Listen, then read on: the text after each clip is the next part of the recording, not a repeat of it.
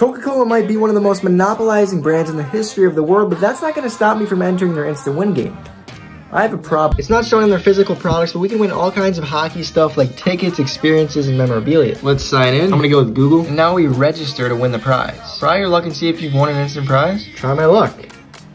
Immediately another LA. But wait a minute, it says we have one entry available to assign to one of these prizes. And uh, I'm gonna go with the fan cave. Sign my entry. I'm gonna play one of these games though to win more entries. The game is called Net Zero and you gotta shoot the puck at the targets to score entries. This is easy, bro. Oh, you gotta hit the, okay. Bro, I'm no hockey pro. This is kind of tough. What? All right, made no sense at all. We got one. I don't know where the score is. Let's go. Okay, four. We got one more entry by doing that. I'm just gonna do the Sabres game and we're good.